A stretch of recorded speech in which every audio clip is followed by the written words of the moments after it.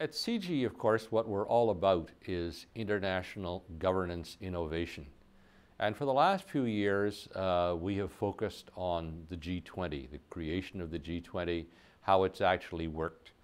Uh, and what we're doing on, for this particular conference is looking more broadly at what we call uh, the new geometry of summitry. So it's the G20 and how's the G20 doing?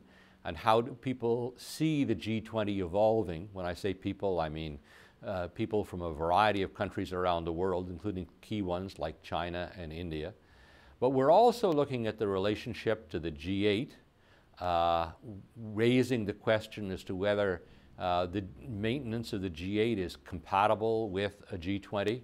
Uh, we're looking at uh, whether the G20's um, uh, agenda uh, might be further expanded uh, so that it looks at uh, questions like climate change or uh, transnational crime, a variety of things that are economically linked or linked to the economy, uh, but are not part of the agenda as it now exists. That would be very much as Korea added development onto the agenda at the summit last, last November. And then finally, what we're looking at uh, is the relationship between the G20 on the one hand and the UN on the other.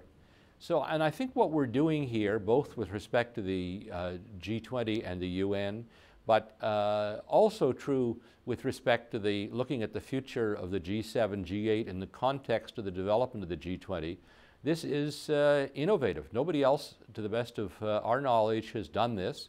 And uh, we, we, we start with the, from the belief that uh, uh, global governance, better global governance is essential, uh, that global governance needs innovation, that innovation is uh, not easy to produce, uh, and that one way of getting innovative ideas pushed forward uh, is, is through leaders. And that's why we believe that uh, summits are really important uh, as to uh, how the world is able to deal with major uh, challenges that stem from global interdependence.